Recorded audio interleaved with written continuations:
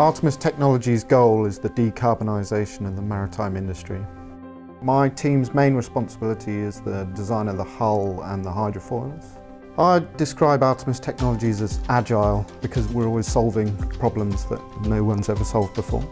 The main things that motivated me to work for Artemis were the sustainability goals of the company, but also the opportunity to work with other experts in their field.